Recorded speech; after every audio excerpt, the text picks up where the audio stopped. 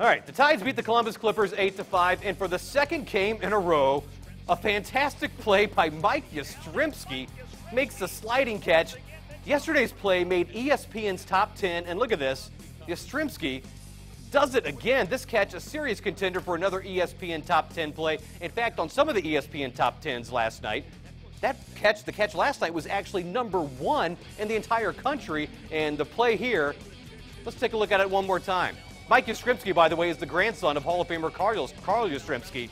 Look at that catch. That is not easy, kids. Tides, again, they win at 8 to 5, same two teams tomorrow night at Harbor Park.